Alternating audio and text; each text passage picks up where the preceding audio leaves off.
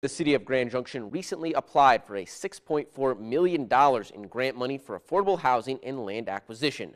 Our reporter Alex Prietovero is standing by live in studio to tell us more. Alex? Michael, the city plans on using that money from the grant to purchase land here in Grand Junction. The land in question is commonly known as the Grand Junction Salt Flats. The Salt Flats are located at the intersection of 28 Road and Grand Avenue. The land consists of 21.45 acres. The city plans on building affordable housing on that land.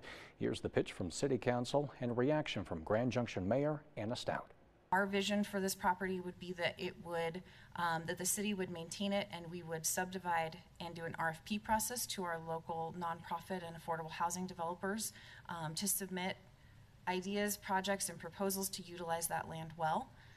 This is just down from my house. I actually drive by this almost every day, and it has been an eyesore and a problem for the community for a long time. I'm really excited to see this develop, and um, I, I will simply say yes in my backyard, since this is right down the street from where I reside, and I'm excited to see uh, some possibilities be brought forward for this. Now, the proposal was just made. It will still be some time until we find out whether or not it was approved. KREX 5 will continue to follow the story and bring you updates as they happen. Back to you.